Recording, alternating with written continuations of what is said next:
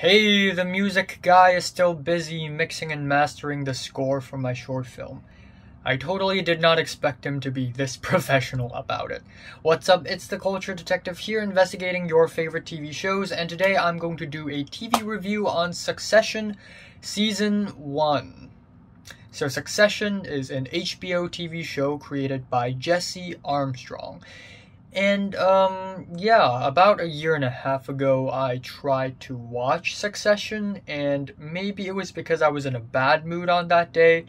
Maybe it was because I was just feeling really tired or bored on that day, but after half an episode I just dropped it. I was just too bored. I was just very impatient and I just dropped it. I don't like a lot of things about it the very awkward, the office esque zoom ins and shots that are very shaky, the very awkward dialogues, and the fact that none of the characters are likable at all just really bothered me.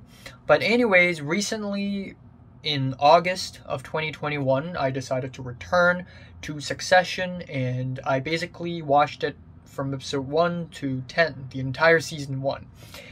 And, um, first of all, um, I enjoy it. I think it is uh, pretty good, but it's not without its flaws. But I think first of all, we need to talk about the opening sequence.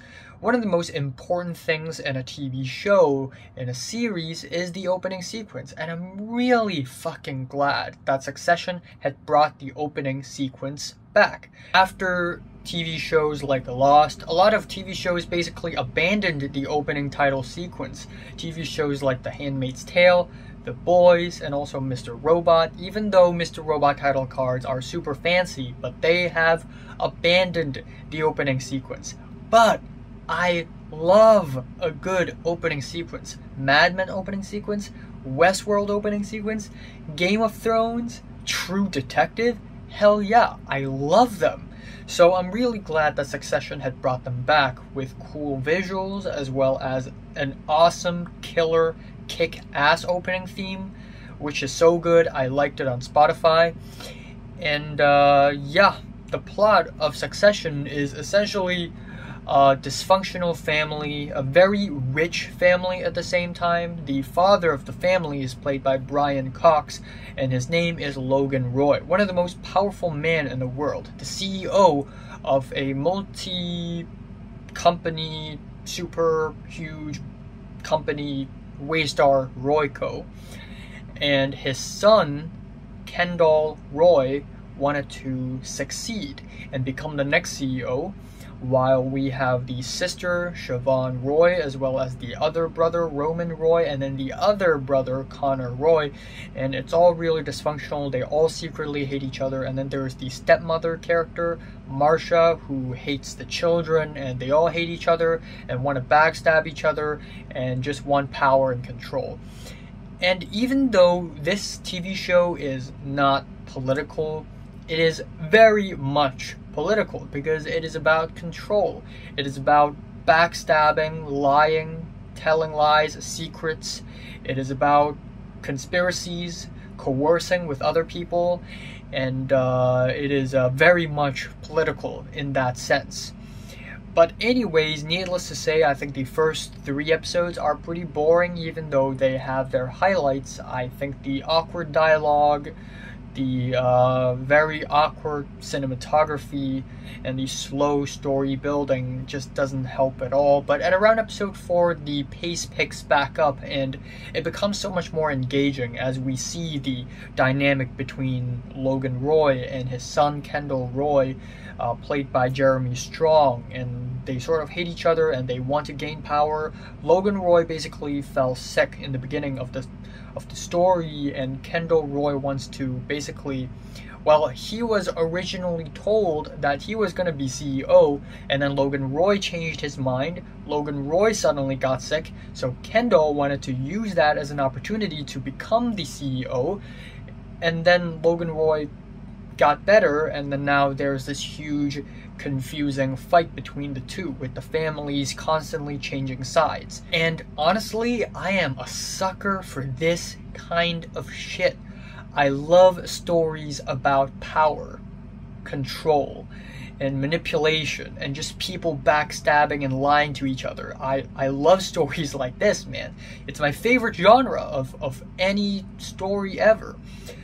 Episode 6 is easily my favorite episode of the entire season so far. I think um, it is blood pumping, it is intense, it is um, it, it, it's really close call, and uh, I love the ending scene. It is shocking, it is uh, crazy, and um, I can't spoil what happens, but episode 6 is truly my favorite one. It is basically all the political, power control, betrayal stuff all amped up to 11.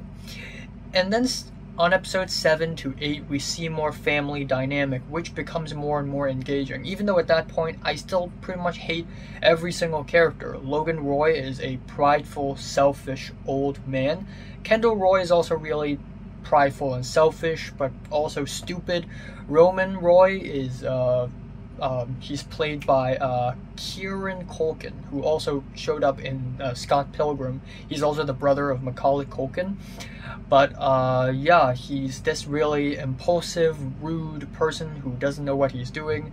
Siobhan isn't really that likable of a character. Siobhan's husband is uh, the definition of a beta male. And then we have Greg, who is this really awkward nephew of Logan Roy, and he clearly doesn't know what he's doing, and he's being very clumsy about everything. Pretty much every single character is hateable. The stepmother character is hateable as well. Everybody sucks. They all suck ass, and none of them are making good decisions at all. Throughout the entire season, we just see them messing up again and again and again and again and again, making bad decisions left and right. It is actually quite painful and frustrating to watch all of these come down. But uh, that's pretty much episode 7 to 8, which turns out to be more compelling and engaging than I thought it would be.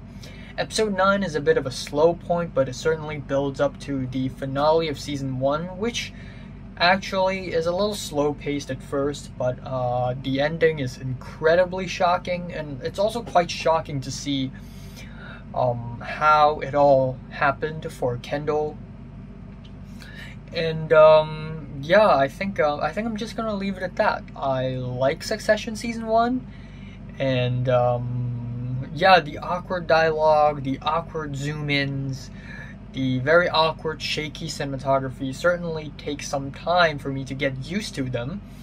But I think once I I'm used to this type of cinematography and, and, and dialogue, I managed to enjoy the story way much more. And uh, this is also easily one of the most cynical TV shows I've ever watched, to be honest. Like, all of the characters suck. They're all bastards. None of them are good. They all suck.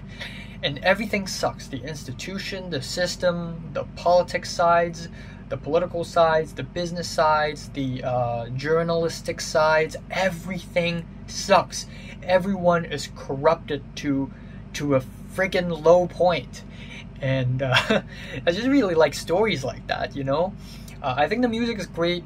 Um, in a lot of ways, this reminds me of House of Cards because of the political stuff power control, but also because of the music. It's just so orchestral, so grand, and I think the performances are great. If the actors for Tom and Greg actually act like this in real life, wow, the casting is amazing. If they don't act like this in real life, then their acting is amazing because they're really convincing in their roles.